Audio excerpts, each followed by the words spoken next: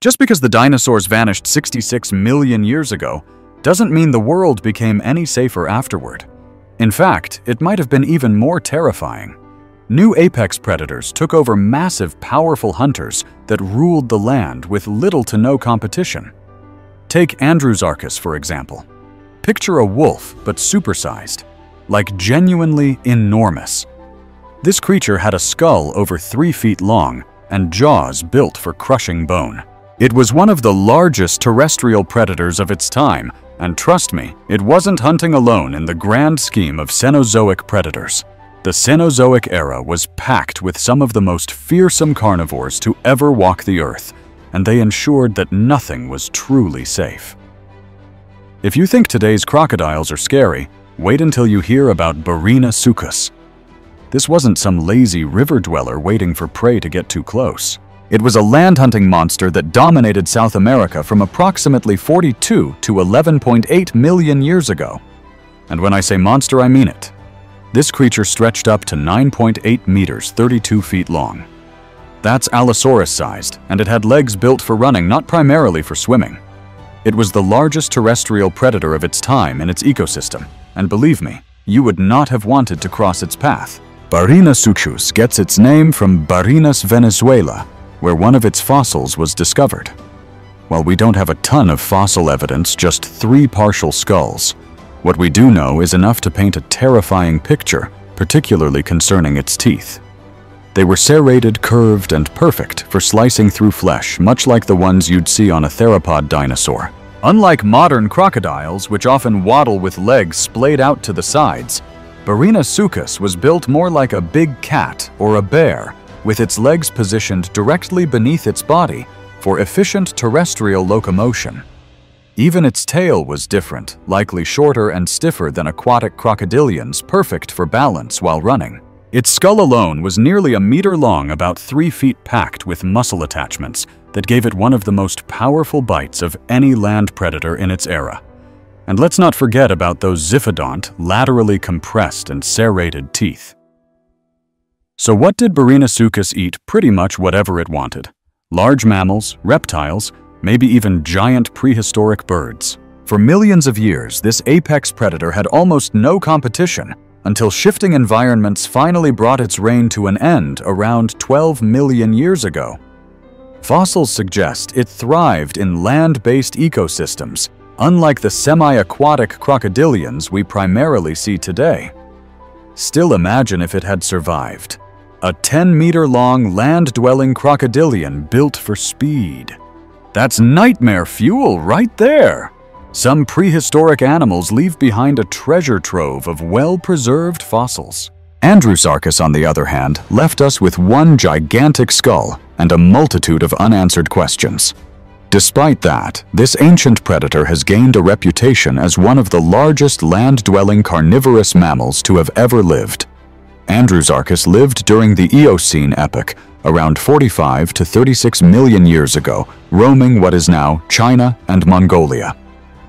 Its name honors the paleontologist Roy Chapman Andrews, who led the expedition that discovered its remains in the 1920s. The only known fossil, a jaw-dropping 83 centimeter, nearly 3-foot-long skull, suggests it was a massive, powerful predator. But what did the rest of it look like? That's where things get tricky. Since no full skeleton has been found, scientists have to compare Andrewsarchus to its closest known relatives. It belongs to the Mesonychia, an extinct order of hoofed mammals that were perhaps surprisingly related to early whales and even-toed ungulates like hippos. Based on its skull size and comparisons to other mesonychids, some estimates put Andrewsarchus at 3.6 to 4.5 meters, 12 to 15 feet long, and weighing up to 900 kilograms 2,000 pounds about the size of a modern-day bison, but built like a carnivorous tank. Its long, robust jaws were filled with strong teeth, some adapted for slicing flesh, others for crushing bone. This dental arrangement suggests Andrewsarchus wasn't just a predator, but possibly a scavenger as well. Since it lived in coastal environments near ancient seas, its diet was likely diverse. It may have hunted primitive mammals and reptiles and even feasted on giant turtles or beached sea creatures. If it was an opportunistic feeder, it could have stolen kills from other predators, crushed shellfish, or scavenged whenever necessary. If there was ever an animal that looked like it came straight out of a horror movie, it was the entelodont better known by the menacing nickname Hell Pig. Despite this moniker, these terrifying creatures weren't actually pigs. They belonged to a separate extinct family called Entelodontidae, more closely related to hippos and whales than to modern swine. But don't let that taxonomic detail fool you. Entelodonts were brutal, bone-crushing carnivores that ruled landscapes in North America and Eurasia for millions of years. Entelodonts lived from the Eocene to the Miocene epoch approximately 38 to 19 million years ago. The largest species Daeodon could grow up to 3.6 meters 12 feet long, stand 1.8 meters 6 feet tall at the shoulders, and weigh over 900 kilograms 2,000 pounds. Its skull alone was over 1 meter 3 feet long, featuring huge jaw muscles and thick bone structures that helped absorb impacts. One of its most recognizable features was the bony protrusions or cheek flanges on its face, which may have been used for display intimidation or even defense during brutal intraspecific fights. While entelodonts weren't pure carnivores, they definitely had a significant taste for meat. Their large, crushing teeth suggest they could bite through bone, meaning they were likely formidable scavengers that could crack open carcasses for marrow. But that doesn't mean they were averse to hunting. With their massive size, powerful jaws, and long legs, built for running entelodonts could have certainly chased down smaller mammals, dispatching them with a bone-shattering bite. Their stomach contents and tooth wear show they also ate roots fruits and other plant materials, meaning they were technically omnivores. However, based on their apparent aggression and size, they probably acted much like modern-day hyenas, willing to eat almost anything.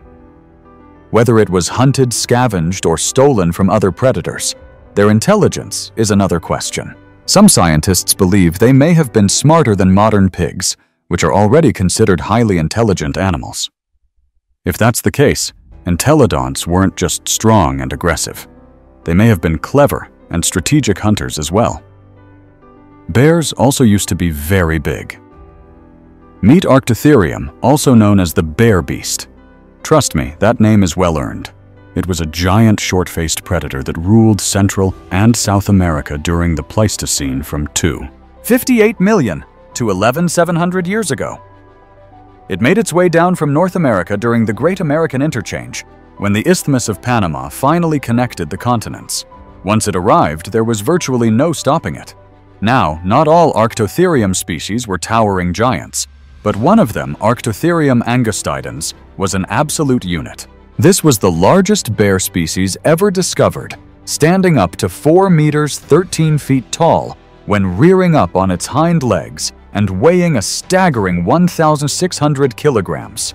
That's three 500 pounds heavier than a modern-day polar bear by a long shot.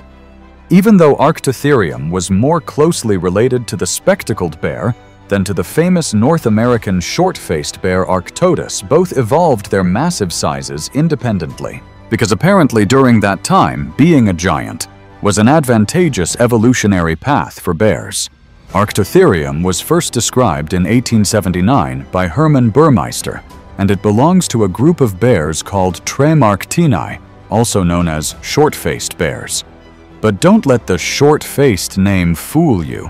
Its snout wasn't exactly short in the way you might conventionally think. It was just deeper and more robust compared to those of modern bears, contributing to a unique facial structure. If you really want to tell different species of Arctotherium apart, the key is in the teeth. While the upper canines were pretty similar across species, the lower canines varied with some species sporting two enamel ridges, while others had three. It's a small detail, but an important one for paleontologists. Arctotherium wasn't picky about where it lived. It thrived in open landscapes and mixed environments showcasing just how adaptable it was. Get this, some scientists believe it might have been semi-arboreal at times. Yes, a bear, this big potentially climbing trees, or using its strong forelimbs for digging. That kind of flexibility would have given it an edge, especially as an omnivore and scavenger, allowing it to exploit a wide range of food sources. But don't think for a second that Arctotherium was just waiting around for leftovers.